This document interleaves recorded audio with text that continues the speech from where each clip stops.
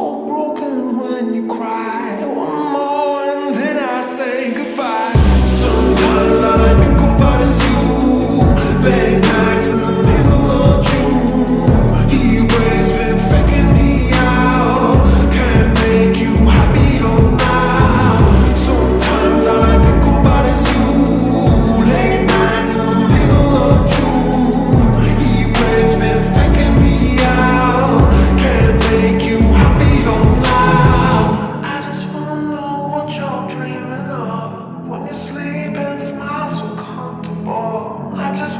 I could give you that that look that's perfectly unsaid. Sometimes all I think.